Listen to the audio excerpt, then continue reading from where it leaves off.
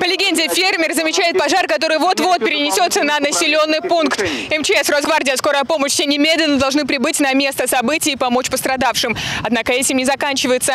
Степной пожар перекидывается на производственный объект, на котором через несколько секунд случится взрыв.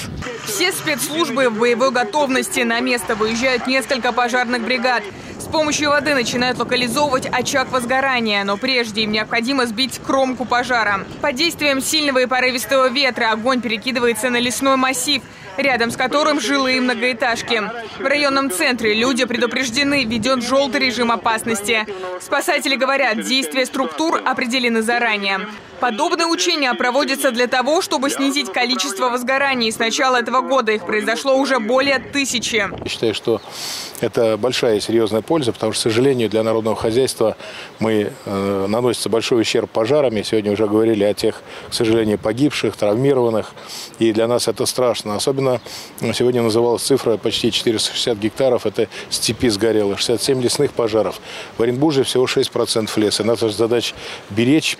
В это же время происходит возгорание дома. Медицинские службы эвакуируют жителей районного центра. Есть пострадавшие. Территорию поселка оцепляют специалисты Росгвардии для пресечения фактов мародерства и обеспечения сохранности имущества граждан. Всего же на всех четырех площадках задействовано около 10 спецслужб.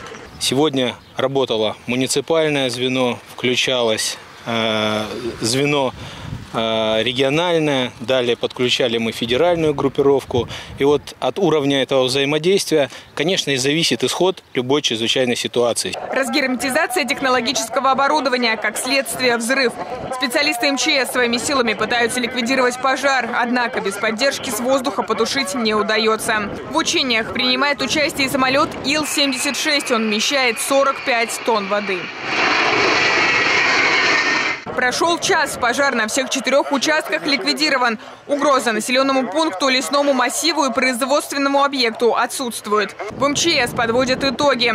Благодаря слаженным действиям органов управления и сил всех уровней удалось избежать перехода огня на земли Государственного лесного фонда.